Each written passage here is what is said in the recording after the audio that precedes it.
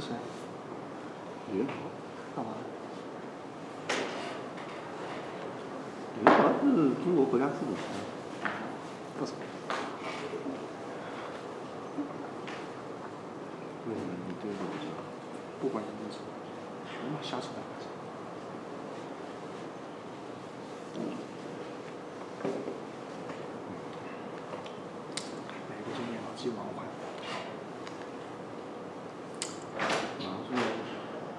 天亮了。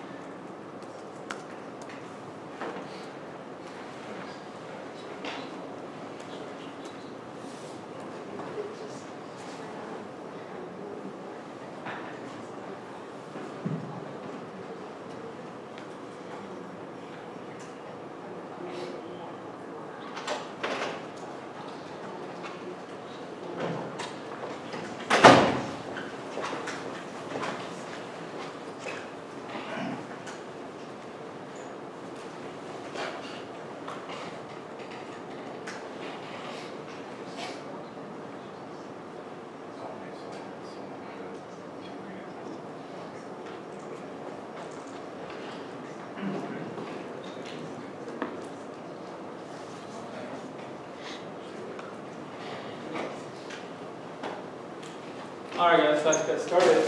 So, so last lecture we talked about, so last lecture we talked about query optimization. So, uh, the basic idea of query optimization is explained by uh, this figure right here, which I skipped in last lecture, so I'm going to come back and explain this, uh, uh, this workflow for you. So basically, a typical workflow for query optimization inside Davis kernel is as follows. So you have a user query specified in SQL, obviously, and that's SQL statement is uh, submitted to the query engine and goes through a parser. Uh, in your uh, SimpleDB assignment, this parser is provided to you by a third-party library called VSQL or Sharp. Uh, and then this parser will basically generate what we call a query plan, represented by a query plan tree, which you have seen from our discussion on query evaluation. And then that initial query plan are represented by a tree-like structure with relational algebra operators are then submitted to this module called query optimizer. And the query optimizer basically, broadly speaking, we can view a query optimizer having two components. One is what we call the plan generator, uh, the other is called plan cost estimator. So what does each module do? Well, the plan generator will take an input query plan and generate a different representation of the same query, a different query plan for the same query. So a major challenge for plan generator is really to test what we call plan equivalence or relational equivalence. What that means is given two query plans represented by relational algebra in a tree-like structure, can you test whether they're equivalent or they are not? If you're able to do that with some you know, other technical detail I will mention here, you should be able to basically generate many equivalent plans to a single input plan. Okay? And then for each plan you have generated, uh, produced by the plan generator, you pass that generated query plan to a cost estimator. The idea is you want to estimate what's the cost associated with executing the input query using this particular plan. Obviously, a naive solution for course uh, for this uh, plan cost estimator is to simply execute the input query according to a given query plan. But that defeats the whole purpose of query optimization. If you have already executed the query using a particular plan, what's the point of optimizing the plan space anymore? You already get your query results, right? So the entire query optimization basically boils down to uh, how effective uh, this module can be. Meaning how efficient you can estimate uh, the cost associated with the query plan without actually executing the query according to that plan. Okay? And imagine you have a way to do this effectively and efficiently. Effectively means that the cost you have provided, the, the cost estimation you have provided is fairly accurate. It's not going to be exact, because you only know the exact cost if you execute according to that plan, which you won't be able to do. So it will be an approximation. So you hope the estimation to be effective, in other words, to be accurate, but at the same time, you want this to be efficient. Because at the end of the day, when you go through this loop multiple times, why you have to go through this loop multiple times? Well, maybe the initial plan you have generated is simply too expensive. So you want to try some other plans before you finally settle down to a plan with a reasonable cost. And that's when you basically pass that plan to the query executor to execute. Okay? And in this process, the plan cost estimator relies on some other modules inside the kernel to do its job. Uh, in, in particular, it relies on what we call the catalog manager, that maintains the schema information, which I explained earlier in this course, right? I show you basically how uh, schemas are stored in, for example, PostgreSQL. Essentially, they're stored just as tables. Okay?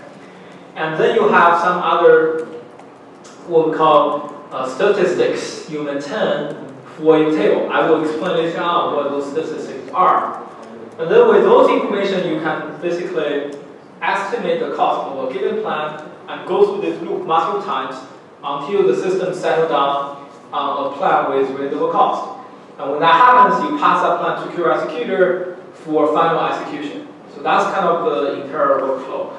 And the bottom line is, remember, the bottom line is this process right here shall not be too expensive.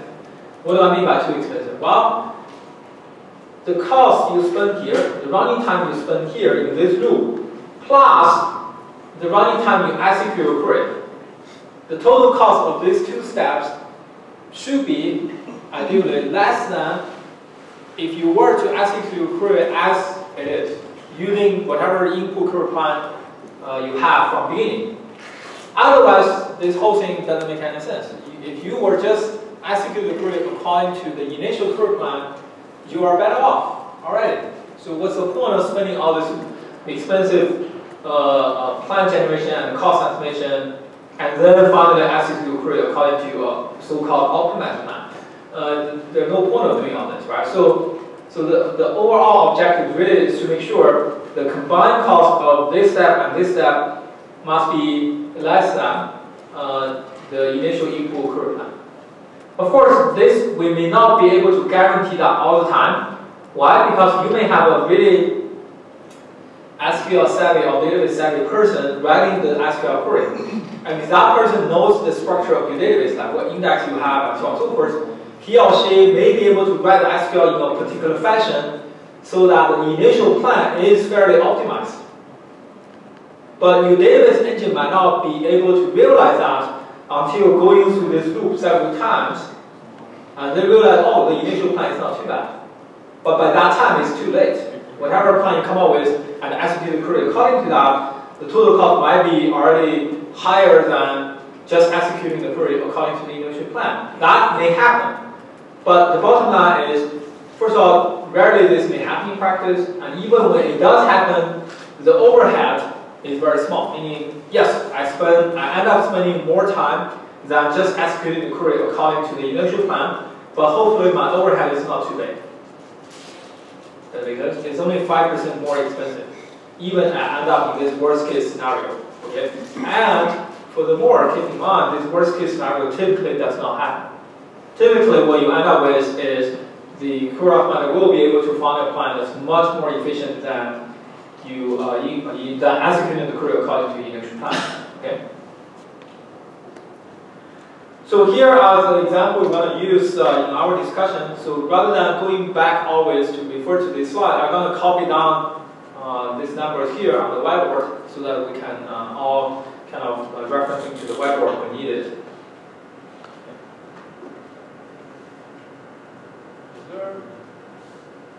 So let me use the space right here so that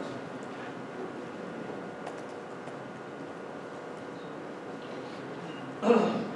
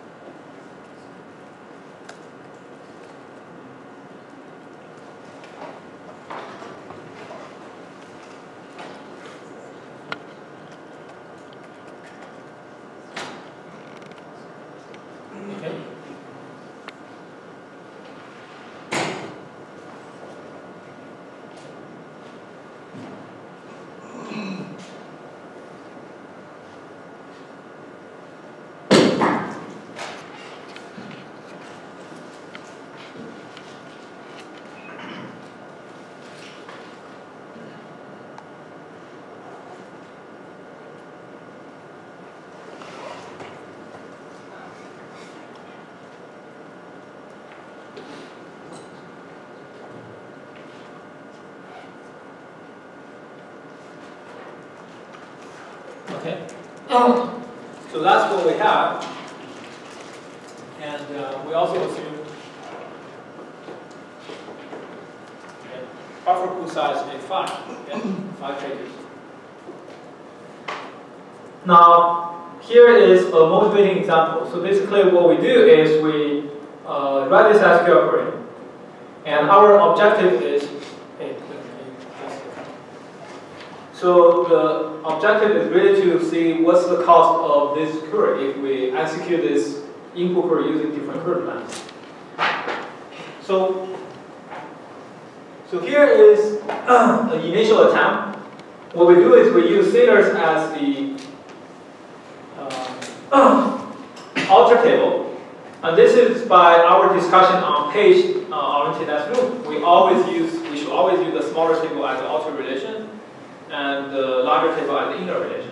So if you are going to use page-oriented network join, you better just use the smaller table as the outer relation, which is what we're doing here.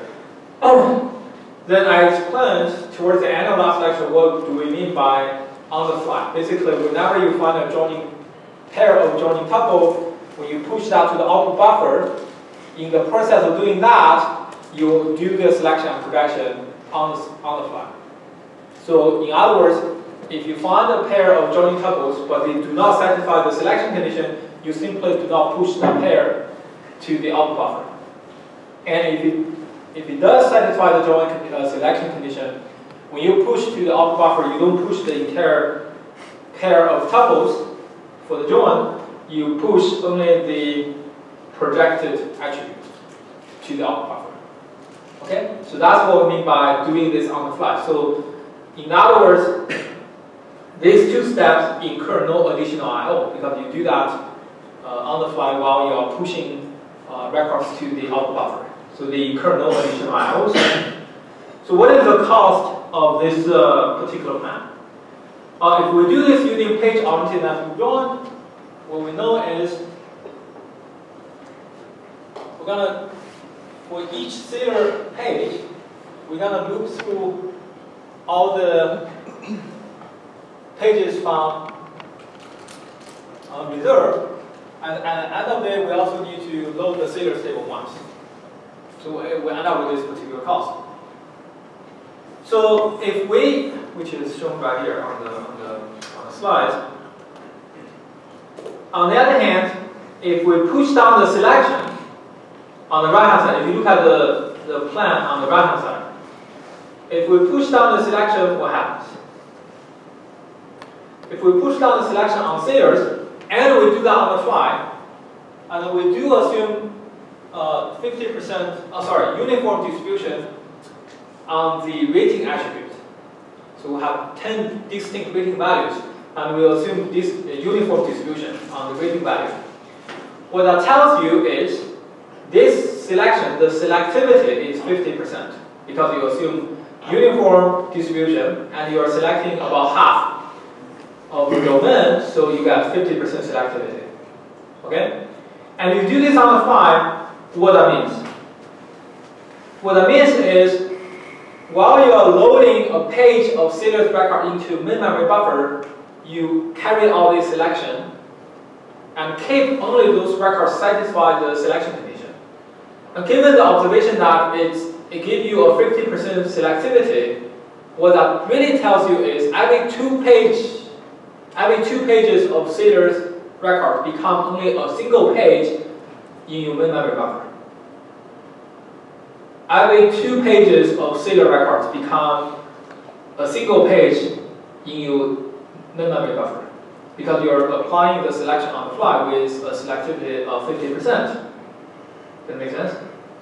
In other words, when you load a page of Sailor's record into main memory, about half of them will be eliminated. So a page of Sailor's record only occupy about half pages in memory, and you have space to load another page of Sailor's into the other half of your memory buffer. And then you carry out the uh, page oriented next loop as, as before, what you end up with is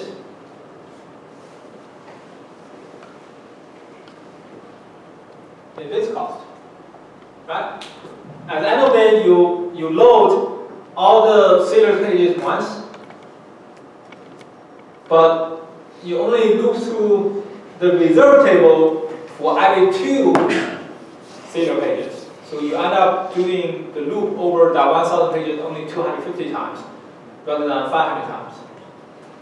So using this simple trick, you already reduce the query cost by half. Right? It's already reduced by half. Well, this might inspire you to say, okay, there is also a selection on boat ID. If pushing down the selection on Sailors help me dramatically, can I try pushing down the selection on boat ID as well? I should expect some improvement as well, right? So that gives you another uh, query plan like that on the right hand side, right? You know what happened in this case? Well, we can do the analysis, right?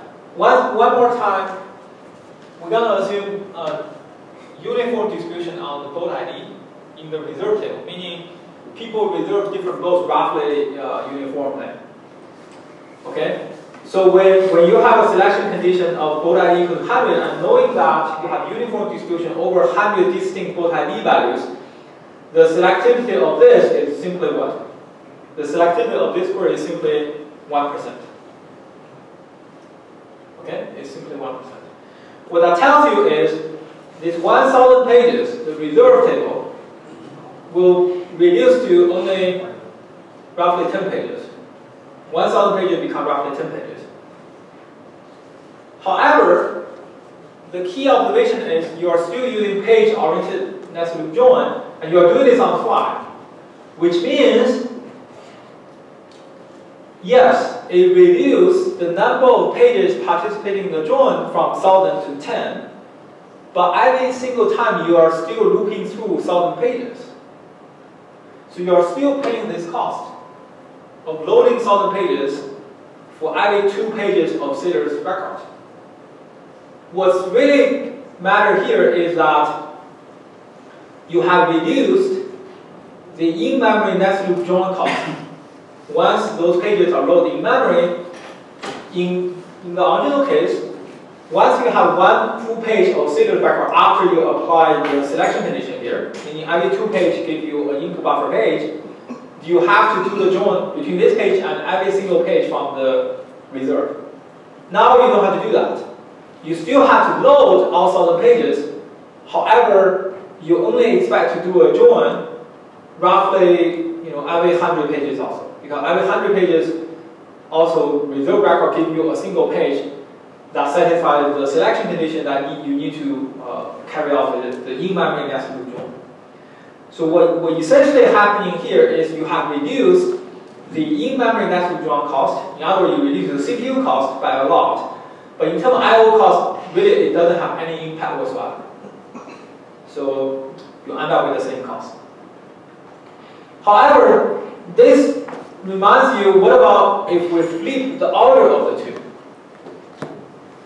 In the original page nested join, we said we said you're always to use the table with a smaller size as outer. So that's why we started with Sailor as outer relation. But now, after applying these two selection conditions, you quickly realize after the selection condition, the reserve table actually is the one with the smaller size, with only 10 pages versus 250 pages. So maybe I should swap the order of the two. So, so that's essentially the plan over there. And if you do the math, what, what's the cost right here? Well, it becomes, it become 10 because 1000 pages become only 10 pages. And for those 10 pages, you need to loop through all Sailor pages, which is 500 of them. So it becomes 10 times 500. At the end of the day, you have to scan through the reserve table once, which is 1000 pages. So that's essentially the IO. 10 times 500 plus 1000 give you about 6000 IOs. That's a dramatic reduction, as you can tell. That's a dramatic reduction. Okay? What can we do better? We started with about half million IOs, and we reduced all the way to about only 6,000 IOs. That's almost a hundred times speed up. Hundred times speed up, almost by, by simply uh, looking at different plans. If you think about this, you're gonna is I don't have to convince you that this plan generation cost is worth spending, right? By spending a little bit time over there, generating different plan and estimating the cost, you end up saving 100 times uh, when you actually execute the query, according to the initial plan. So definitely this cost is, this overhead is worth paying for, right? Now, the question is, can we do better? Well, we still can actually, in this case. So instead of doing this on the fly, for the sailors, right? What about we execute the selection condition? We already we already realized that if you execute the selection condition on the fly and using page nested join, is not going to reduce the I/O cost. It only reduces the CPU cost. But what if we do not apply the selection condition on the fly. Rather, we apply the condition, write the output to disk, and load it back in for uh, carrying out the page oriented nested loop join. That's essentially what we're doing there.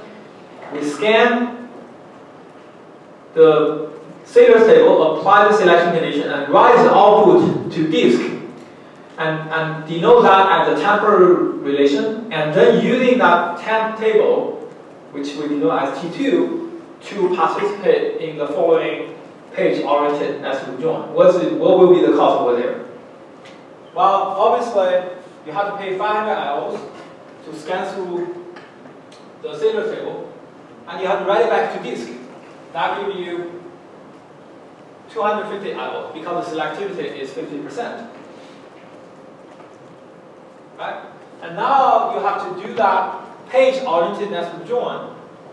And remember, you, you do this selection condition on boat ID on the fly. So 1,000 pages become essentially only 10 pages for the in-memory, uh, for in uh, for the input buffer in, in your memory. And then for those 10 pages, you need to look through all these pages from T2, this new T2. At the end of the day, you have to load these 1,000 pages once. So that's essentially the cost. That will be essentially the cost.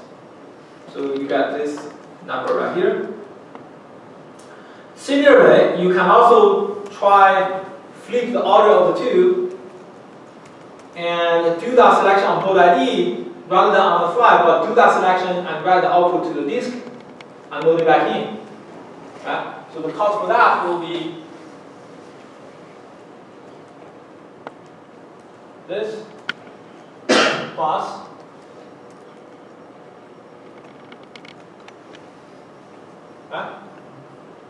the of the day, you have to scan through all those 500 pages once. So that's essentially uh, this plan right here. And the cost, you reduce a little bit, not, not by a whole lot, just a little bit. So far, look at what we have done.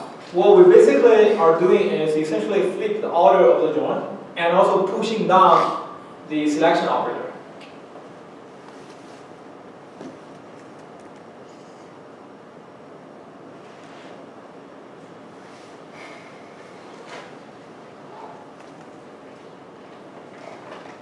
Push down selection over.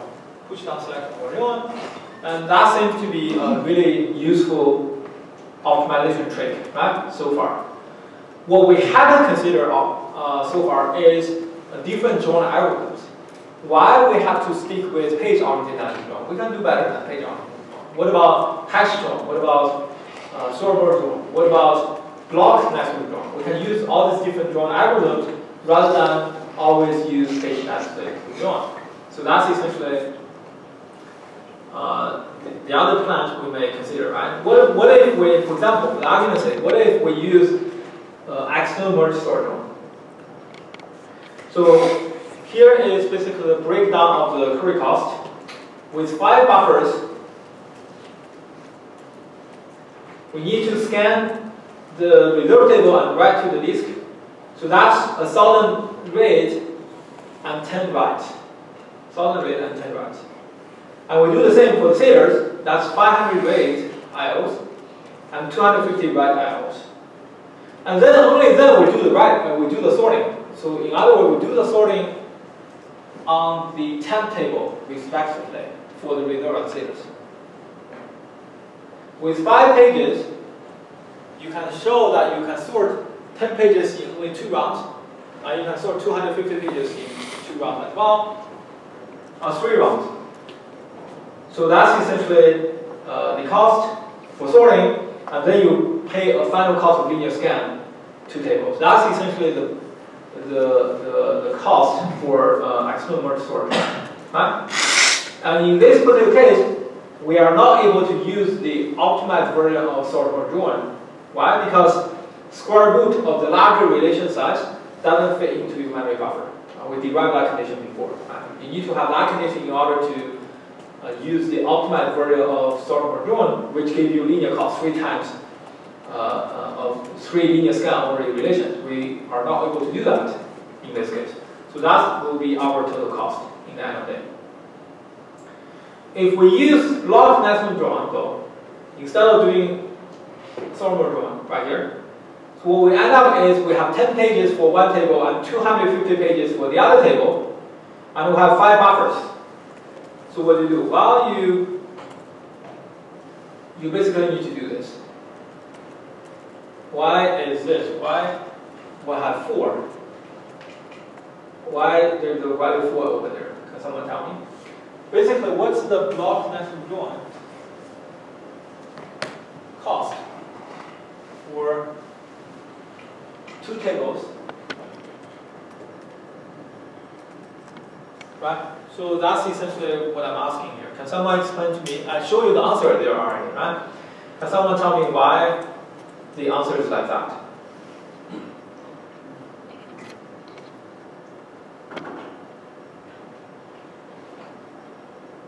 Any volunteer?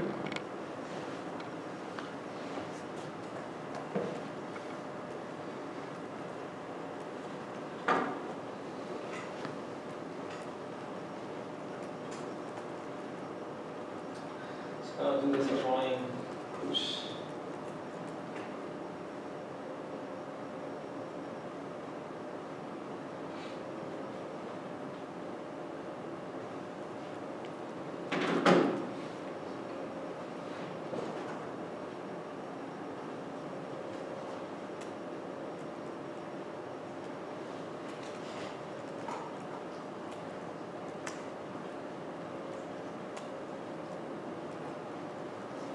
Okay, I'm gonna call your name. What about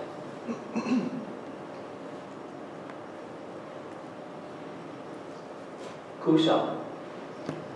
Yeah. Saw you there. Yeah. Can you tell me uh, what's the cost for this? Using block national John, where the buffer size is five.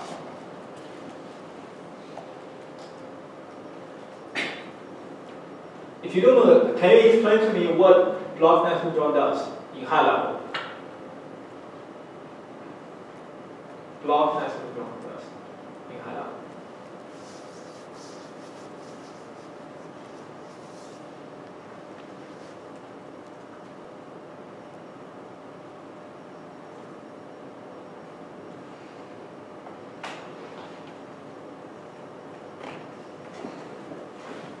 Anuja?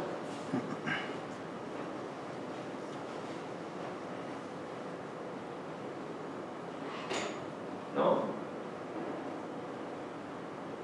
Who else? Can someone tell me? Nobody wants to help me out? Okay, I will, you know, answer this myself, but I will ask another question down the road. Okay? Next time I won't help you with this. Block nesting drawn. What it does is you reserve one input buffer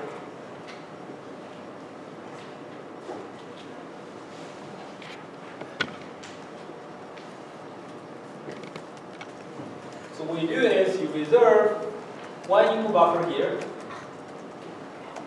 and one output buffer here, right?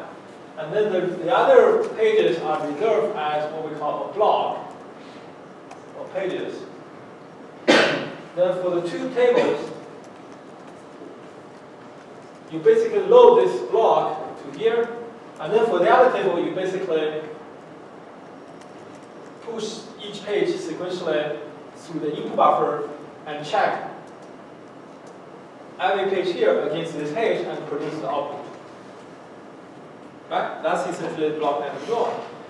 And what is the cost of this approach? Well, if you do that in N1 and N2, obviously the cost will be minus 2 And this tells you how many blocks you're going to have in N2, where each of size of this. How many such blocks you have. And for each block, you need to go through all the pages from the first relation. But at the end of the day, you load all the pages here once, so you need to do that. Right? That's what we explained before, right? And we do the math, we also said, if you do the math, it turns out that always you're going to use a smaller relation uh, as this one, and you scan through the bigger relation. That always gives you better cost at the end of the day. So that's what we're doing here. The block nested loop join cost for this particular case become, okay, 10 pages. What's the block size, by, by the way, in this case? If my memory size is 5 pages, what's the block size? 3. 3, right? Must be 3, right? So, take the ceiling of that. That's how many times you have to go through that 250 pages. At the end of the day, you move through the 10 pages. So that's essentially why I got the formula. And then, of course, you have to account for the cost of reading the page, writing to the disk, before you do this. Ah, do that. So that's the total cost for this plan right here, using block time. And you can also push down projection rather than only pushing down selection. You can push down projection as well. And how do you push down projection? Well, when you push down projection, you are not reducing the number of records participating in a join. What you are reducing, however, is the size of each record. And that helps too, because that essentially, in other words, for example, think about what happened here. 500 pages become 250 pages. But if you push down projection as well, you may end up with much less number of pages as well. You have the same number of records, but you have much less number of pages needed to store those records because each record has now smaller size. The only thing you need to pay attention to is when you do the projection push down, not only you need to push down the projection on um, that projection attribute, you need to project out all the attributes you need for the join operator. So when you push down the sailor name to the sailors table, not only you need to project out the sailors record, you also need to project out the sailor ID in order for you to perform the join operator uh, follow that. Okay? If you have index, you can do even better. And here is the example of this. I'm gonna, by the way, I'm gonna skip this slide because this is essentially uh, the same analysis I've been doing, but just using a different drawing algorithm. So it's fairly straightforward. I do want to mention in this particular case, one thing I didn't mention in the slides is after you have done this step, the two pages become 250 and, 10, right? My buffer size is 5. If you do the math, you can actually, this actually satisfies that condition. Square root of this must be greater than the smaller size of the two relation, right? Which is, uh, actually, it's, oh, sorry, it's, uh, it's not, the condition not this. The condition is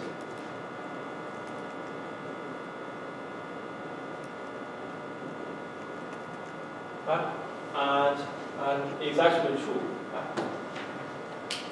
Which means you can use the optimized version of hash join, the hash join and the total cost is simply what? So you, you don't have to do this, or you can simply do that.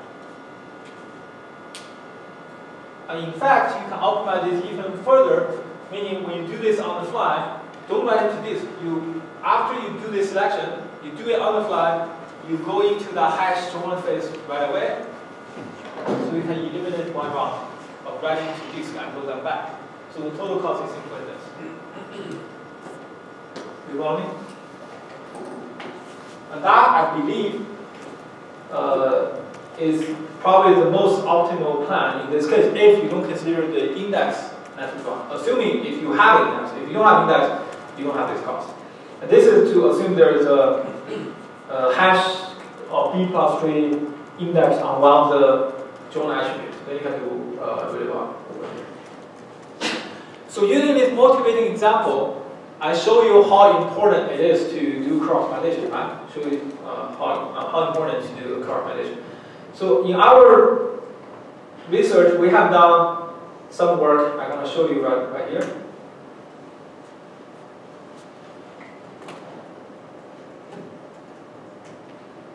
So we have extended the typical database engine to support spatial query processing, right? This is done by my PhD student Dong and one of my undergrad uh, research assistant Dilin. And over the backend is really a Spark cluster. So it's not a single node at the backend. It's a cluster of machines, about 10 machines right here.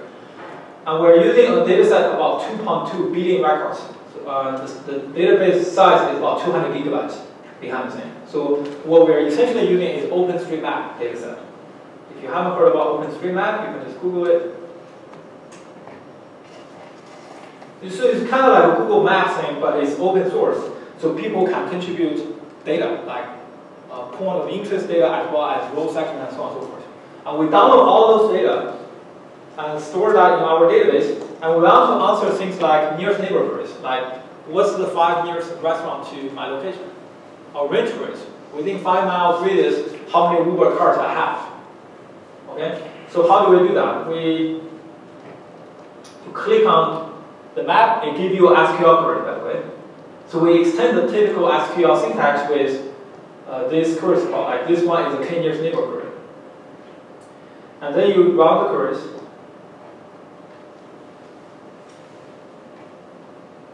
And it get, gets results back. If I zoom in a little bit, uh, you can see the 10 nearest neighbor for this query.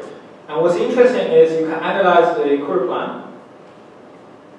It gives you the logical plan. And then it gives you an analyzed logical plan. So it's a slightly optimized version of that. Then you go through the query plan to give you an optimized logical plan. In this case, we are actually using R-tree index. R-tree is something like B-tree but in high dimensional space. Okay? So initial plan is to do a linear scan.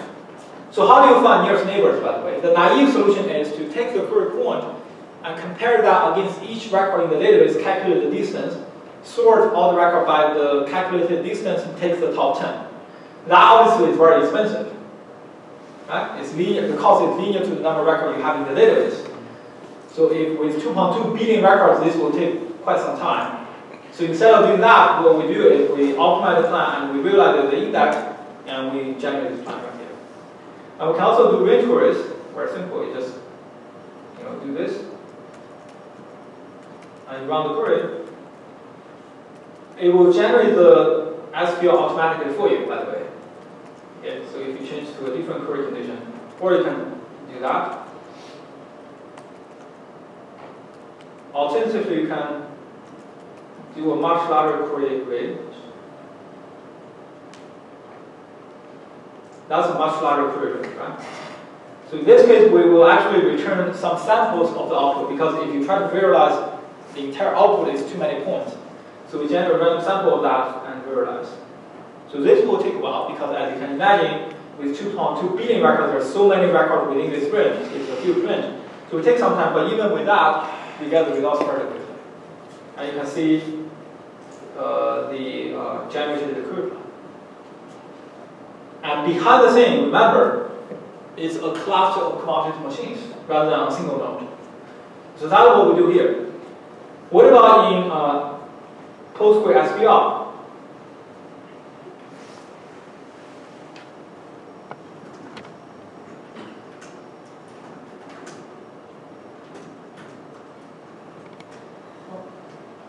So I have preloaded this PostgreSQL instance with a TPCH benchmark.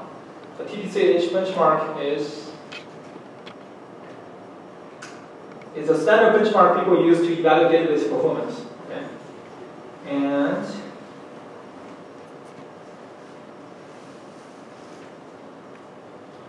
and here is the schema information for this benchmark. So it's used by many companies to test the performance of their database right? So it's industry standard. Let me go all the way to the page with the schema. This is the schema for this for this benchmark. So I have customers, orders, line item, and so on and so forth. You follow me? Like who has ordered what? So imagine this is kind of like Amazon.com type thing. Right? Who has ordered what from what region and what items. And then they give you a bunch of standard queries you want to run, and then whatever did, pretty much like what we did in lab three. I give you some uh, database and some sample workload, and whoever run the fastest uh, win the game, right?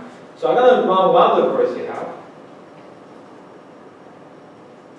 which is this query right here. It's basically a join between orders, customers, uh, line item, and so on and so forth. Looks very complicated, but essentially what it does is to tell you what's the revenue lost for all sales in a particular region, for all countries and customers from a particular region. In this case, I'm looking at the revenue loss, total revenue loss from the region of Asia. So that, that includes China, Japan, Singapore, and all those countries, right? I look at my sales in those regions, I look at my last, you know, uh, quarter or whatever time specified in uh, uh, that mark as loss and how, how, what's the total revenue loss for all the orders I have in that region. If you run this query in uh, PostgreSQL, this query will take a while because this database is not a big database, but it's not small either. So I generated the benchmark using scale factor about, I think about 100. So that gave me about 146 gigabytes of data. And this query will take about six to seven minutes to run. So I will cancel that. I will show you the size of the database is about 140 gigabytes. And look at the table, these are the tables, right? Customer and so forth, follow match against this schema here. So what you want to know is what is the query plan generated by the engine for this. So what you do is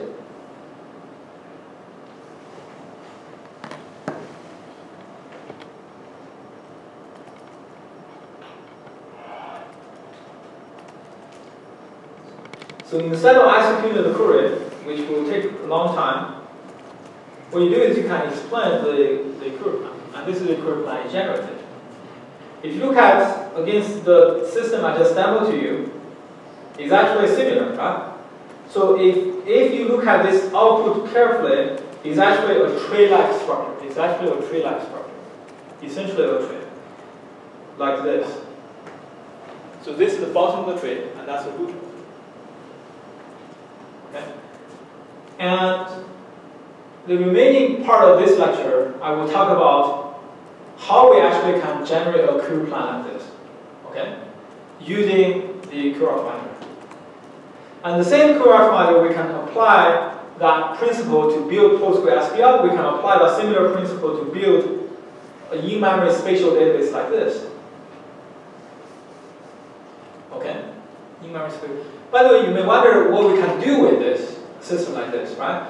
Using a system like this, we can analyze a lot of interesting data. For example, we have been collecting a lot of Twitter data, uh, millions and millions of Twitter data with geotag information. And using a system like this, we can actually analyze things like,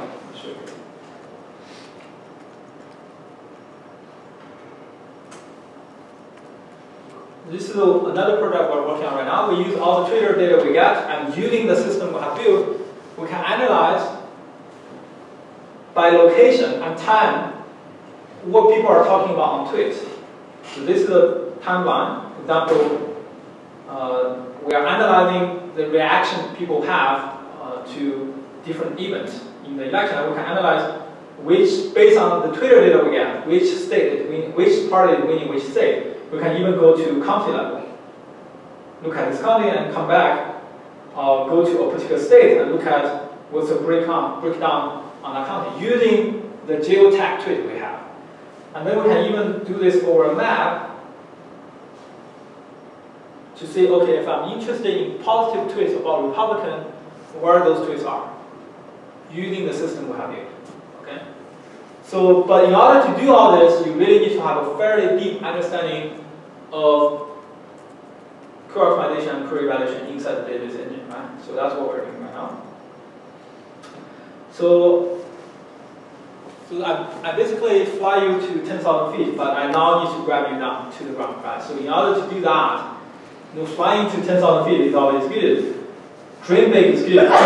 You cannot dream always, right? So that's one problem I have with a lot of, you know, maybe that's the, you know, something tied with the education system here in the US is that you always are encouraged uh, to dream big, but at the end of the day, you need to uh, be grounded as well. In order to realize your dream, you cannot just dream big.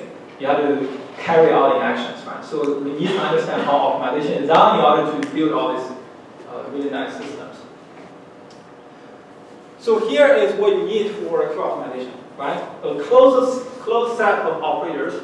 Uh, closed, I, I, I explained what I mean by closed in the beginning of the semester, right? So for example, we apply to the field of integer multiplication is closed, but division is not, meaning the output is something that you can describe using the same model as for your input. So specifically in our context, the closed set operator essentially refer to the relational, relational algebra operators. Uh, you take relational instance as input, they produce relational instance as output. You need to understand plan space. That's essentially what we talked about earlier, plan equivalence. I will elaborate this a little bit more. Then you need some cost estimation model to estimate the cost of a particular plan. And then you need to have a search algorithm. Why do you need a search algorithm? The reason is, for typical queries, the plan space is huge. The plan space is huge. Why? If you consider join as an example, join is commutative and associative, meaning A join B join C is equivalent to B join A join C, or A join bracket B join C. Roughly speaking, if you consider all the possible plans for a join over multiple tables, you are really looking at a permutation of those tables. With the number of tables or number of join operators increase, that plan space grows exponentially rather than linearly. Because you are really talking about something in the order of a permutation. Do you follow me? So the plan space, and that's just consider the order of the join. If you couple that with the fact that each, even with a given order of join, for each join operator, you also have many, many different join algorithms to choose from. The combination simply become, quickly become too big for you to consider all of them. So the plan space become too big to afford a linear scan of all possible plans. I mention this because that's why a search algorithm is important. Otherwise, if your plan space is small, forget about any search algorithm. Simply test each possible plan. And for each plan, you test the cost. You estimate the cost. You don't need any search space. You basically iterate through all possible, of course, equivalent plans. But in reality is you are not able to afford to do that. The plan space is too, too big. So we do need a smart search algorithm in order to go through uh, this huge plan space and only look at those promising ones rather than those you know, really expensive ones. You don't even look at them. You prune them away uh, early in your search space. So that's why we need a search algorithm as well. So those are the few things we need. Now we're going to look at how we do each one of them. Okay? Then at the end of the day, we're going to integrate all of them to derive the relational cross manner at the end of the lecture. Okay? So here's a quick summary. So I'm gonna, so basically this is the same thing as I already mentioned. So in particular, I want to look at what we call System R optimizer. To give you a little bit background about System R, System R was a research project conducted by IBM Research in the early days of 80s, 1980s I'm talking about. So it's about 30-ish years ago. Uh, a group of people at IBM Research Almaden uh, embarked on this project called System R. Why System R? Because back then, you don't even have a commercial relational database system. So they basically have something in mind that they're going to build a database system that's relational. That's why they call this project System R. Okay, so that's just give you some background.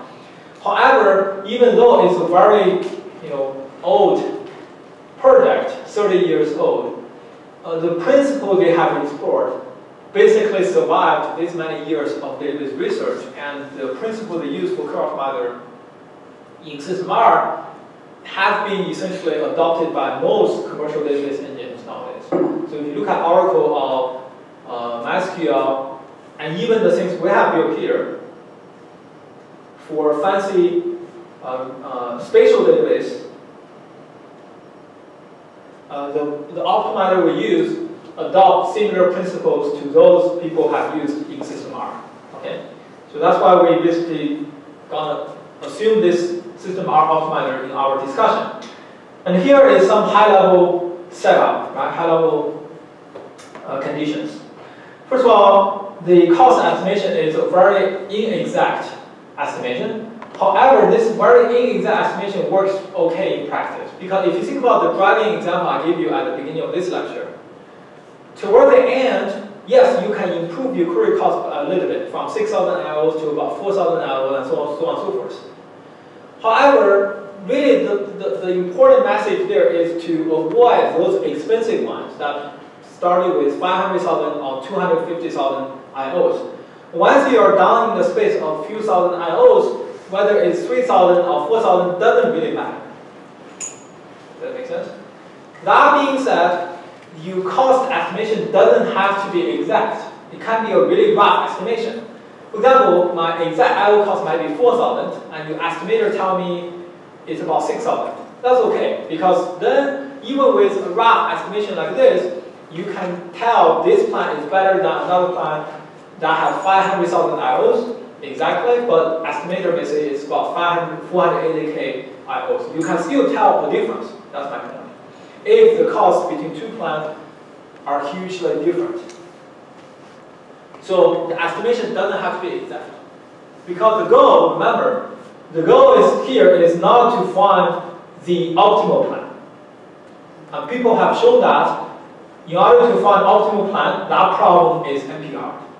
You can actually kind of guess this already because I argue for you the plan space is roughly in the order of permutation of this table, which is uh, exponential increase uh, value with respect to the number of relation participating in the join. With that input, you cannot hope for, for a polynomial solution. So this problem of finding optimal plan is, right, is really an NP-hard problem. So in practice, what people do is design heuristics inside the database query optimizer. Instead of finding the optimal plan, my objective is simply to find a good enough. That's not too bad. It's really to avoid those bad plans. That's most what most optimizer end up doing. Okay? So combined with all these discussions, uh, inexact estimation is actually okay for our purposes. That's point number one. Point number two, when we estimate the cost of a query plan, so far we have been concentrated on I/O cost. We, for the most part, we have ignored the CPU cost. That's why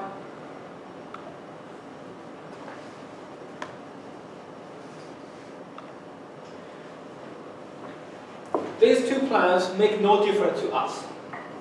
Even though we know the plan on the right-hand side will be more efficient, much more efficient in practice, because it saves you a lot of CPU cost. But in our model, if we focus only on the I/O cost, these two plans have no cost whatsoever. Obviously, that's not right. A query optimizer should be smart enough to distinguish the two and go with the plan on the right-hand side rather than just make a random choice between the two. So what, what real system handle this is to design something called a cost model that establish a rough equivalence between CPU cost and I/O cost. For example, about 100 CPU instructions roughly equal to one random I/O. Or 1,000 CPU instruction equal to one random I/O. You, you establish a rough cost model for your system architecture, and you go with that. With that being said, you basically estimate the number of CPU instructions you need to execute for a particular plan, scale that by a factor in your cost model, and then combine that with your I/O cost, derive a final combined cost as the cost estimation for your plan. Does that make sense? And that being said, there will be a difference between the two plans I showed you earlier because the plan on the right hand, on the left hand side will have a much higher CPU cost, and that will be captured by uh, your, your model, your, by your cost model. Those CPU costs will be translated to I don't know how many I/O costs. Okay, so you end up with a higher number on the left-hand side than the plan on the right-hand side. For simplicity though, for simplicity though, for this class, I'm gonna assume that that cost model of converting CPU instruction to equivalent I/O cost exists, and that's a simple linear scale factor that you apply, and divide by 100 or divide by 1000 or whatever that is, and we're gonna ignore that part. It's very easy to divide that, and I'm gonna ignore that part. So we focus on optimizing uh, different plan with respect to only the I/O cost. Okay. With that being said, though, in your implementation later on in real system, you do need to incorporate the cost model for the CPU cost as well. Okay. Lastly, for the plan space, I'd argue the plan space, if you were to consider all equivalent plans, is simply too big. Because it's roughly something uh, in the order of the permutation for the number of tables you have uh, in the join operations. So it's too big. So in practice, what people do, people consider only what we call the left deep plans. I will show you what a left deep plan looks like. So I will move forward quite a bit. Okay. So this is what we call a left deep plan. These are not. So what's the difference? By the way, they are all equivalent if you test them, because join are commutative and associative. So all these plans are equivalent. But in most system optimizers, they only consider what we call left deep plan, and they ignore these plans because the plan space is simply too big. So what's a left deep plan? Officially, what's formally what's the definition for a left deep plan? Well, a left deep plan is a tree structure where at every level of your tree, the right-hand side child is always a base relation. At every level of your tree, the left-hand side child, sorry, the right-hand side child is always a base relation. So let's check that against this. At every level, so in the first level, the right-hand side is the base relation. At the second level, right-hand side is the base relation. At the third level, right-hand side is the base relation. That's not the case here. In this case, the second level right-hand side is not a base relation, but an intermediate result. A join between two base relations. Here, uh, at the second level, same thing can be said. So these are not left deep tree plans. Only this one is. But even if you consider only left deep tree plan, you still have many ways of joining them, right? You can flip the order. Or you can do C join D first before you do A join B. You still have many, many plans to consider, right? So it does reduce your search space dramatically, but still it's a huge search space. And we still need an efficient search algorithm to go through all different left tree plans in order to find a good one at the end of it. Right? So we still need some discussion, even if we, we go with this assumption of only considering left, left deep tree plans. Okay? Now let me come back.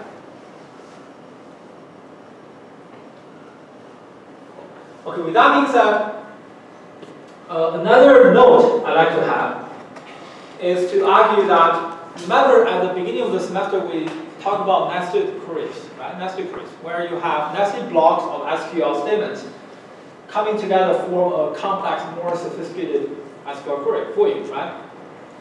And some of you asked me the question then, which is, if I can write a query without using nested loop, uh, nested blocks, should I do that or should I go with the nested block approach? Well, my response then was, you should always try to write your query without using nested blocks. One of the fundamental reasons for that is, in most database systems, in most database systems, the optimizer is not able to establish equivalence between a nested uh, query to an equivalent query without nesting, without nested block. It is a very hard problem. So what they end up doing is optimizing each block independently. Okay? End up doing is optimizing each block independently. Consider this example. Consider this example. And this is the outer block. And this is the nested block. What an optimizer will do is I will optimize this inner block using a left deep tree plan search algorithm. I consider all left tree plans for the inner block. In this case, it doesn't even involve left tree plan because it's only a single table query. It's not even involving a join. So you consider all different options for executing this query. Then you stick with the best plan you find over there. Then assuming you look at this, what Optimizer will do is look at this block and realize that that block simply returns a, const a constant. So the outer block, I will simply view that as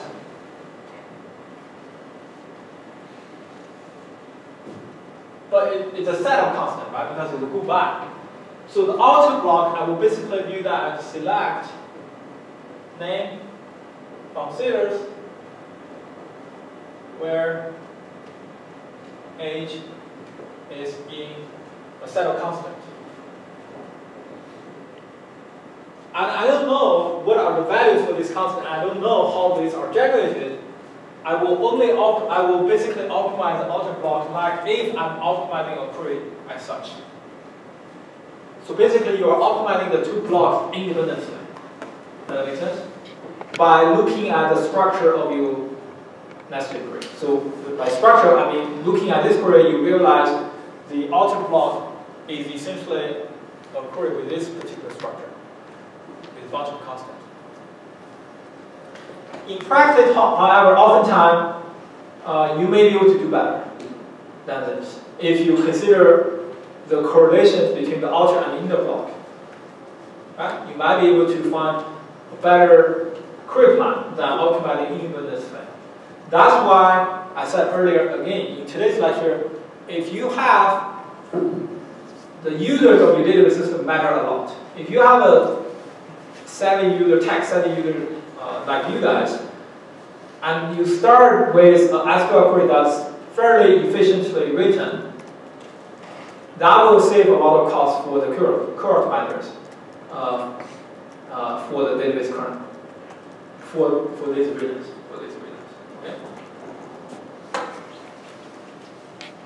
All right.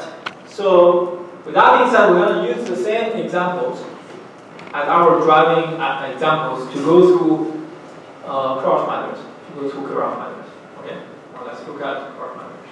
So we will do this step by step. We will basically start with the uh, SQL query, look at the plan generated, and from that plan, we look at what happens at each step, and go all the way down to the core of the relational cross matter. Okay. So the first thing you do is you take the input as well. By the way, before I start, I will just give you throw this off. Okay? That the overall workflow is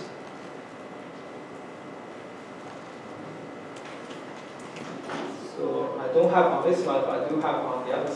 Uh, do I have? No, I don't have. Let's see. No, I don't have that. Okay, never mind. Uh, it's in one of my papers. So I will add that to the slides.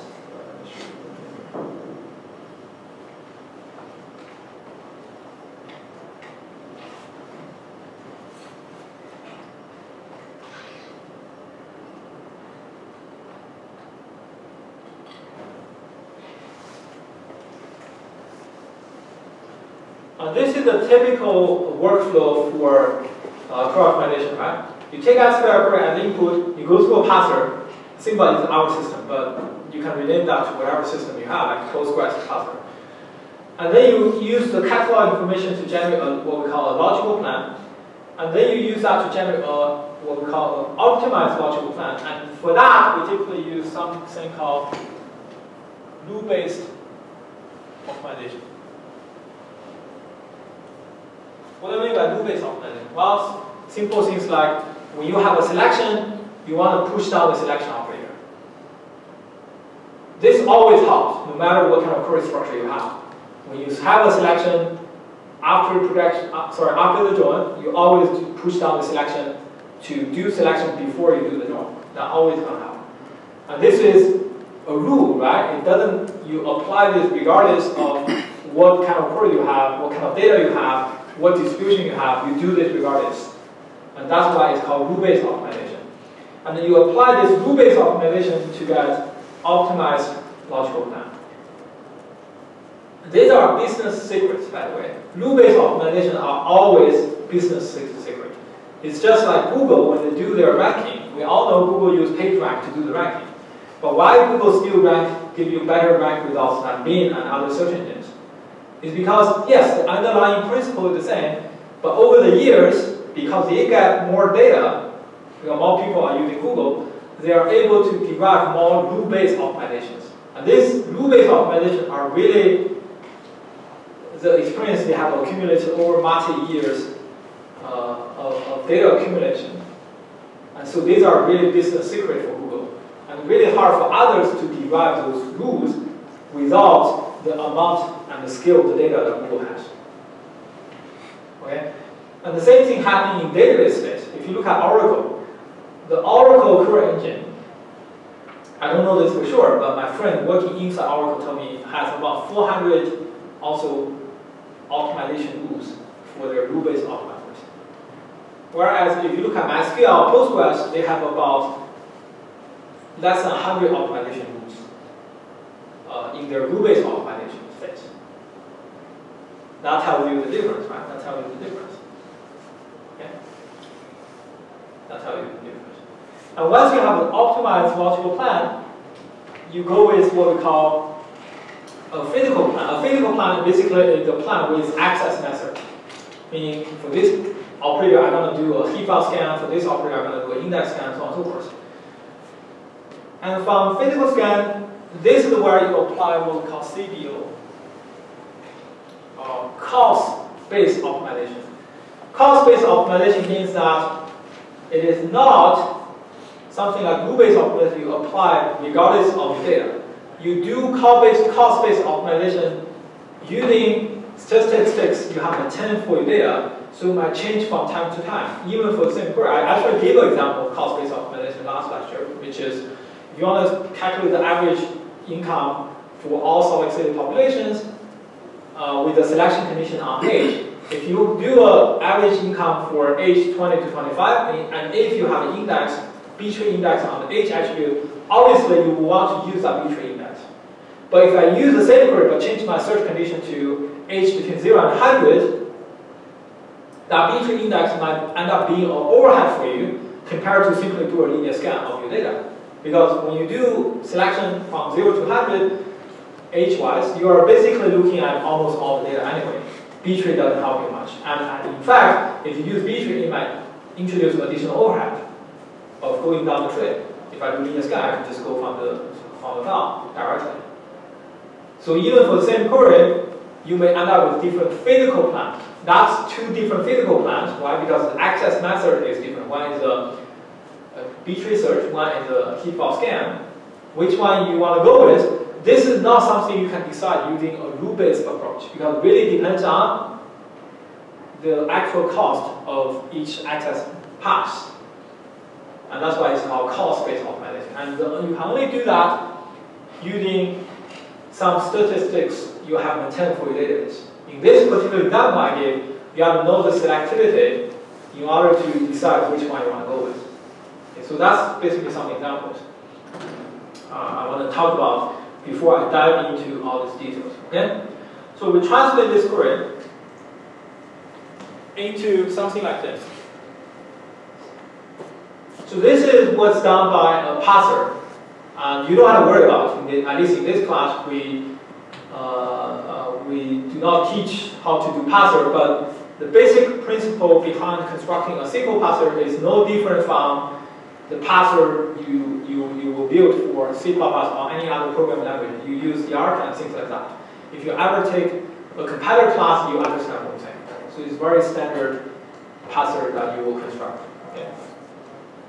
You maintain a symbol table and so on and so forth, right? So uh, using those knowledge you have learned from the compiler class. Okay?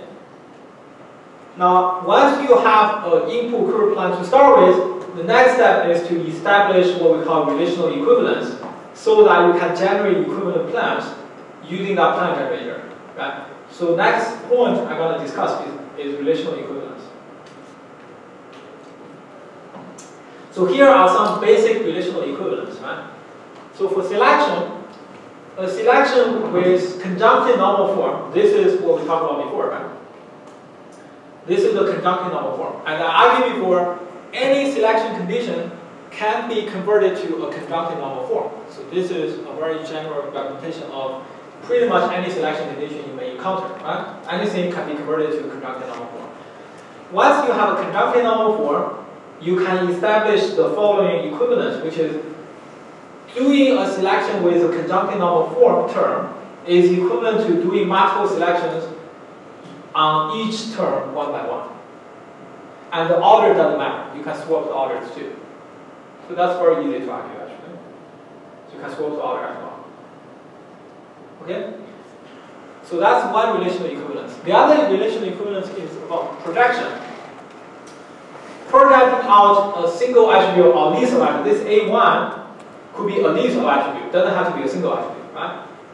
Is equivalent to doing multiple projections on multiple different attributes as long as each of the projection you have done before you do the final projection has content A1 in the projection list.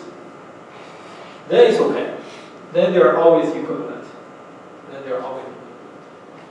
For joins, it satisfies both associative and commutative properties, as I argued many, many times now. And there are more equivalents we can establish. For example, a projection commutes with a selection if that selection uses only attributes returned by the projection. And selection between attributes of two arguments of a cross product converts cross product to a join. What that essentially says is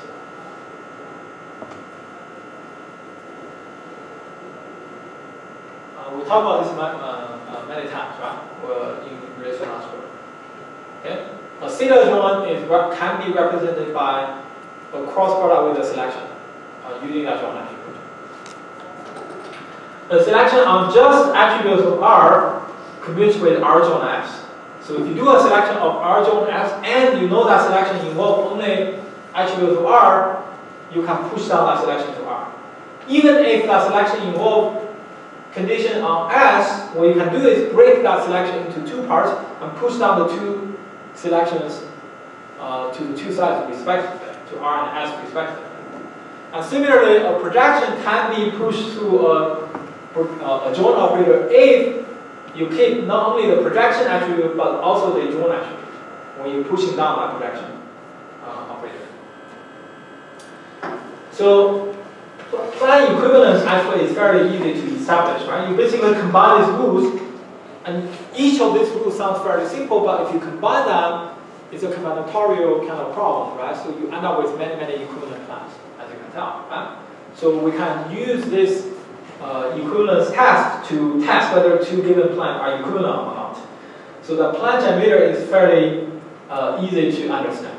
Next, let's move on to uh, the hardest part, the really difficult part, which is the cost estimation. How do we estimate the cost of a plan uh, when you are given a plan? When you are given a plan? So when you mention equivalent, does that mean cost will be equivalent? Well, the costs are not equivalent. Okay. Yeah, when, when I mention equivalence, that really means the semantics of query are equivalent. Okay. So cost estimation. How do I estimate the cost of a query plan? Okay. So by the way, this part is the is every year I teach this class. This is the part I, I, I hate the most because this part is really messy and it's not easy to explain and it's probably boring for you guys to follow through. So I will try to do the best as I can to, to make it as clear as possible to you. Uh, this plan optimization part. Right? This is my least favorite part in teaching, but it's a really fascinating object uh, if you actually uh, work on this. Okay. So what you need to do is really two things.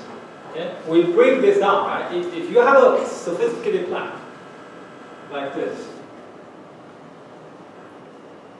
like this, this is like, if you give me a plan like this, ask me to optimize, you know, I, I kind of want to quit my job already, right? goodness, it's overwhelming, and it's messy, and, and, and you know, it's, it's anything that you don't want to be associated with, right? Uh, so, so how do you how do you optimize? How do you estimate the cost of this? Well, you do this step by step. You do this using uh, uh, two things, two machineries.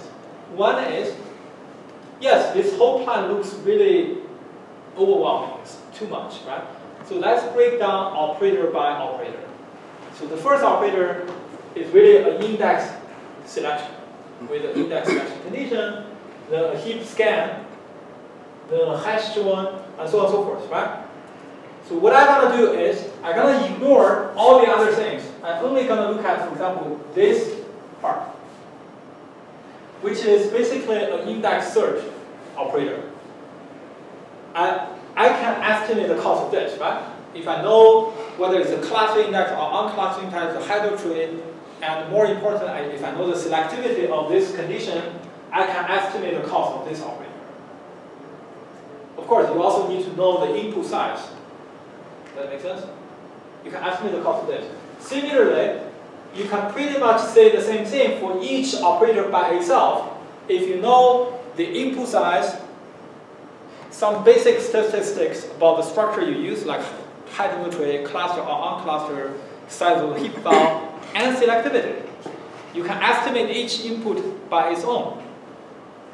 At the end of the day, you simply combine them. If it's a join, you just look at what's the join algorithm uh, as one of the ones we discussed. If you, as long as you know the input size and the join algorithm and buffer size, you can estimate the cost of the operator as well. Does that make sense? So the bottom line is, if you know the input size, if you know the the, uh, the selectivity, if you know some basic statistics, such as memory size, index type, and index height, you can estimate the cost of any single plan operator. No matter how complicated the whole plan is, you can estimate every single operator in the, in the plan. And then you can do this bottom up. You start with the plan operator at the bottom, you estimate the cost of that. Move, move to the next operator in the next level of your tree and move upwards. Until you're done with the last operator, that's essentially the cost. You add up all the costs, that's the cost of your plan. The only trick is for the operator at the bottom, for these guys, input size is easy because input size is given to you. That's maintained by the database in the catalog. What about a plan right here? I mean, if I'm using a nested loop join, and my two inputs are some intermediate results as a result of output from the operator down below. I do not know the size of those output. In other words, I do not know the size of my input. Do you follow me? That's, that seems to be the only challenge left, right? If we can resolve that puzzle, we can add up the whole thing. Do you follow me? Because if you know the output size of any intermediate results, you cannot know the input size of any intermediate operator, then you can estimate the cost of each operator one by one using the strategy I have just described. So it boils down to what? It boils down to estimating the size of the output. But that's the same as what? Selectivity estimation. If you can estimate the selectivity for any operator, knowing the input size, you can estimate the output size. And you can recursively apply this idea to estimate the size of any output anywhere in your query plan space. In other words, you can estimate the input size anywhere in your plan space. That will give you the ability to estimate the cost of each operator. So the whole thing boils down to, like really complicated problem, boils down to selective estimation. You follow my argument? Alright?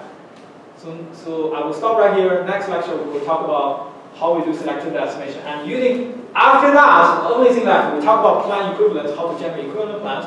We talk about how to estimate the cost of plan using this selective estimation idea. And what's the only thing we remain? A search algorithm.